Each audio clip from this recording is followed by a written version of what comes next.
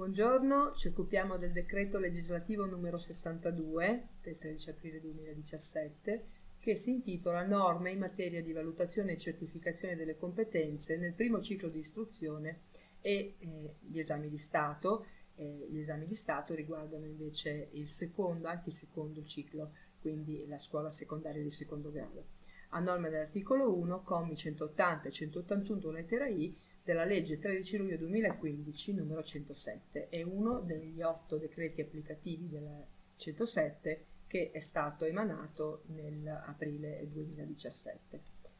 Il, l'oggetto e la finalità della valutazione della certificazione, così come dichiarata nel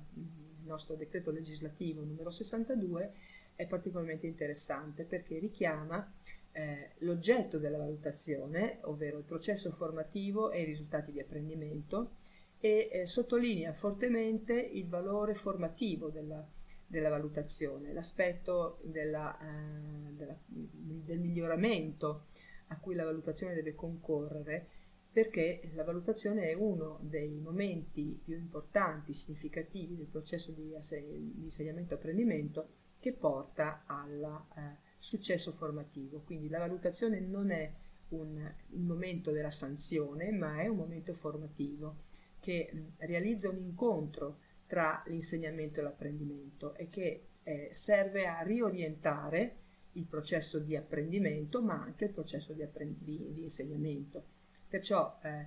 la valutazione deve concorrere al miglioramento dell'insegnamento e dell'apprendimento e deve riuscire a stimolare nell'alunno l'autovalutazione, ovvero la consapevolezza dei propri processi di apprendimento e dell'acquisizione delle conoscenze.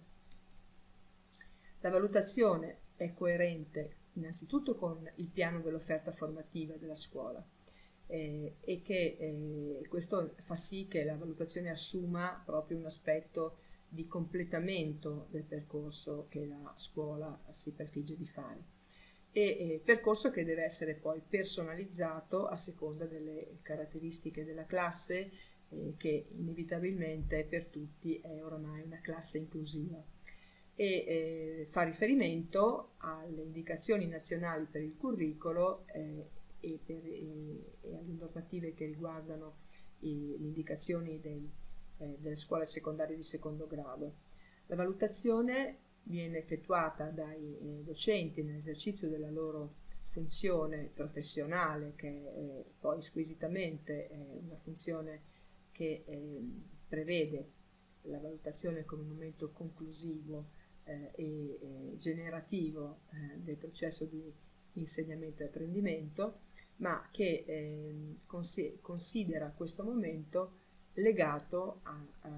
alla personalizzazione dei curricoli e al curricolo di istituto, sempre con riferimento preciso però alle indicazioni nazionali. Accanto alla valutazione degli esiti di apprendimento sulle discipline, la valutazione del comportamento si riferisce allo sviluppo delle competenze di cittadinanza, così come sono espresse all'interno del curricolo di cittadinanza e Costituzione della, uh, della scuola uh, di riferimento. Eh, questo curricolo insieme allo statuto delle studentesse e degli studenti, dei regolamenti di istituto e del patto educativo di corresponsabilità eh, va a costituire il eh, nucleo, diciamo così, di riferimento per la valutazione del comportamento. Notiamo quindi che stiamo parlando di qualcosa di molto più esteso e diverso rispetto alla valutazione della condotta, il voto della condotta che ricordiamo nel passato non è eh, comparabile alla valutazione del comportamento di cui si parla all'interno del decreto 62. Eh, la valutazione del comportamento è una, um, diciamo un processo che è molto più um, generale, molto più a tutto tondo e si lega non solo agli atteggiamenti e ai modi di vivere la scuola dell'alunno, ma anche alla sua consapevolezza rispetto a ai principi sociali e civici. Vediamo un po' la valutazione del primo ciclo di istruzione. Eh, l'aspetto più eh, rilevante proprio del decreto 62 eh, riguarda il primo ciclo di istruzione. Eh, rimane la valutazione espressa con voto in decimi, eh, ma il voto in decimi si specifica, eh, corrisponde al riconoscimento di diversi livelli di apprendimento. Si parla quindi di livelli di apprendimento. I numeri esprimono dei livelli eh, e questi livelli devono essere ehm, esplicitati, chiariti attraverso rubriche eh, di valutazione con indicatori che eh, ne eh, descrivano mh, le, le caratteristiche. Inoltre, ehm, la cosa molto importante è che, eh, a parte il, il, voto in decimi che eh, caratterizza le discipline, il comportamento non è più espresso con una valutazione numerica, ma è espresso con un giudizio. E questo riguarda sia la scuola secondaria di primo grado che la scuola primaria. La primaria già prima aveva la possibilità di esprimere il comportamento con una valutazione, con un giudizio Ora questa uh, eh, condizione è estesa anche alla scuola secondaria di primo grado. Eh, la, un altro elemento di grande novità del decreto 62 è che l'istituzione scolastica, all'interno della, della sua autonomia didattica e organizzativa, attiva specifiche forme di eh, intervento per il miglioramento delle prestazioni dei livelli di apprendimento che sono parzialmente raggiunti o in via di acquisizione. Questa condizione non è eh, opzionale, è data come, eh, diciamo così, un dato di fatto. La scuola è tenuta ad attivare eh, queste strategie per il miglioramento dei livelli di apprendimento che non siano ancora mh, conformi alle attese. La valutazione, si ribadisce, è, è espressione collegiale, e quindi tutti i componenti del consiglio di classe o del team docenti sono corresponsabili nella valutazione. E la, la valutazione ha eh, una, um, un aspetto che integra insieme la valutazione degli apprendimenti negli esiti eh, delle discipline e la valutazione del comportamento, che come dicevamo prima è legato a cittadinanza e Costituzione. I docenti eh, che eh, rilevino eh, livelli di apprendimento che non sono ancora conformi alle attese possono decidere di ammettere eh, gli alunni alla classe successiva ehm, in maniera mh, discussa eh, e, e condivisa e questa uh, decisione comporta anche l'attivazione di forme di supporto e di recupero che eh, sono ancora più stringenti nel caso del primo, della scuola primaria ma che sono presenti anche nella scuola secondaria di primo grado. La scuola primaria in questo modo continua a poter eh, non ammettere alla classe successiva gli alunni all'unanimità del team docente ma ehm, eh, il decreto si esprime in forma quasi imperativa, eh, dicendo che anche in presenza di eh, livelli parzialmente raggiunti o raggiunti in forma iniziale, la scuola ammette eh, l'alunno alla classe successiva, è disposta all'ammissione. perciò diciamo che indirettamente il, il, il suggerimento, l'indicazione è abbastanza precisa. Nella scuola primaria eh, si diceva a questo proposito, la non ammissione alla classe successiva è possibile solo in casi eccezionali, comprovati con una specifica motivazione, quindi si presume con una relazione formalmente espressa e in forma scritta, e eh, condivisa dalla unanimità dei docenti del team della classe in fase di scrutinio. Nella scuola primaria cambia anche la rilevazione delle prove nazionali eh, più note come prove invalsi. Nella classe seconda e nella classe quinta rimangono, eh, rimane diciamo, a, a tappa di, eh, l'appuntamento eh, per le prove invalsi, eh, sia per italiano che per matematica. Eh, si aggiunge una novità però,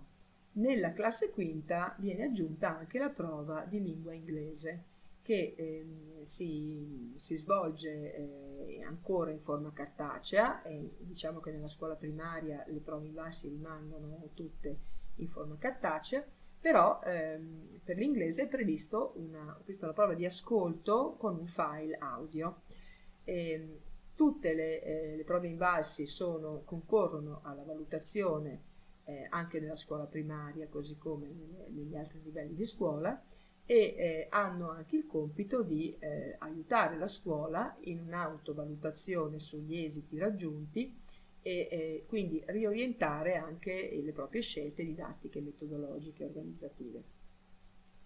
Nella scuola secondaria di primo grado eh, la frequenza dei tre quarti del multiannuale orario personalizzato è la prima condizione per eh, l'ammissione alla classe successiva. Il collegio eh, dei docenti può, con, mm, come questo esisteva già prima, con proprio, o, mm, propria delibera, eh, stabilire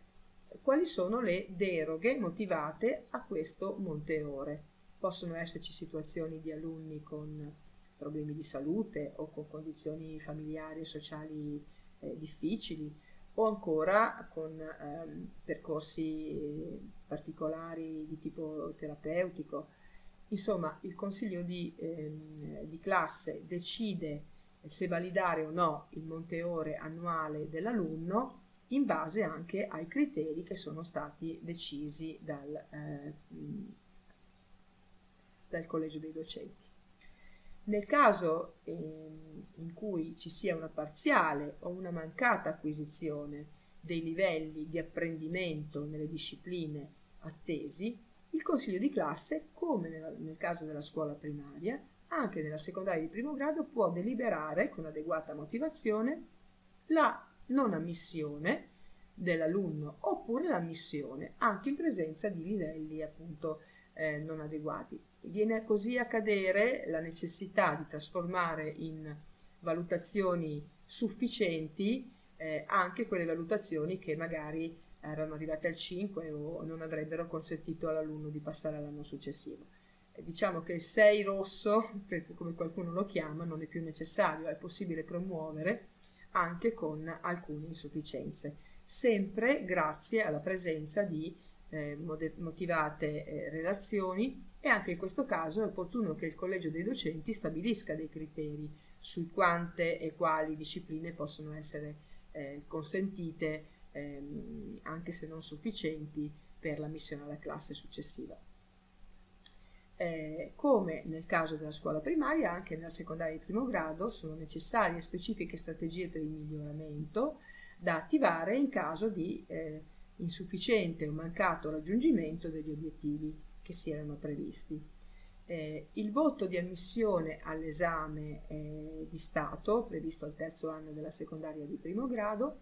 eh, viene ehm, stabilito eh, valutando eh, il percorso de- dell'intero triennio. Si stabilisce che non debba essere una media aritmetica, ma essere un voto di valutazione complessiva questo voto è molto importante perché va a pesare nella determinazione della valutazione dell'esame di Stato addirittura per il 50%, mentre prima nel, eh, il voto di ammissione pesava come qualsiasi altra valutazione d'esame. Adesso il, il, il voto pesa molto di più, pesa per il 50%. Anche nella prova eh, nella eh, scuola eh, secondaria di primo grado abbiamo le prove di valutazione eh, nazionale invalsi che vengono svolte ancora nel terzo anno, in classe terza. A differenza del, di quello che capitava prima, però, le prove vengono eh, espunte dal percorso dell'esame di Stato e vengono svolte prima, nel mese di aprile. Vengono eh, svolte tra l'altro prove di italiano, matematica e anche in questo caso di lingua inglese Tutte le prove invalsi sono questa volta computer based, quindi sono eh, svolte al computer, la scuola deve attrezzare un laboratorio oppure degli strumenti in modo tale che sia possibile per l'alunno svolgere al computer le prove, non sono più in forma cartacea, non è più necessario quindi nemmeno correggerle perché automaticamente i dati vengono inviati. In questo modo eh, per gli alunni eh, la valutazione della prova invalsi non va a concorrere alla valutazione dell'esame complessivo, ma è solo condizione per eh, l'averle svolte e condizione, condizione per l'ammissione. Eh, la valutazione del comportamento anche per la scuola secondaria di eh, primo grado è espressa con un breve giudizio eh, di valutazione complessiva e eh, un'ulteriore novità è che il, ehm, anche eh, per la prova nella scuola secondaria di primo grado è necessario un breve eh, giudizio complessivo da accompagnare nel primo e nel secondo periodo dell'anno a corollario della descrizione del processo di apprendimento, quindi un giudizio globale così come era nella scuola secondaria, nella scuola primaria. L'esame di Stato vede la presenza del uh, dirigente scolastico come mh, presidente di commissione nella propria scuola, quindi non ci sono più gli scambi che c'erano prima e, e le prove d'esame pesano ciascuno il, col proprio voto eh, per eh, una, un, un, totale del 50% della valutazione finale, l'altro 50% è dato dal voto di ammissione. Eh, la prova eh, d'esame è costituita da una prova scritta di italiano, una prova scritta di eh, matematica e eh, una prova scritta in cui vengono eh, svolte contemporaneamente le due lingue straniere, l'inglese e la seconda lingua, più un colloquio orale. Vengono quindi a mancare eh, le due prove scritte eventuali di lingua straniera separate, vengono unificate, e vengono a mancare le prove invalsi che costituiscono, come dicevo prima, soltanto un requisito, averle svolte, un requisito di ammissione all'esame, ma non una uh, una valutazione che vada a far media col voto complessivo. Il colloquio, eh, come prima, è teso a valutare le, conoscenze complessive dell'alunno in termini di eh, capacità anche di eh, mettere eh, in relazione tra loro le diverse discipline e costruire una, un percorso unitario, eh, mentre le prove scritte prevedono una nuova strutturazione che eh, sarà oggetto di ulteriori chiarimenti. La certificazione delle competenze viene rilasciata alla, al termine della scuola secondaria di primo grado e al termine della scuola primaria. Nella, nel caso della certificazione delle competenze, eh, come mh, si, fa, si, fa, riferimento a un documento aggiornato con delle aggiornate linee guida che però non si discostano sostanzialmente da quelle che erano in uso fino all'anno scorso.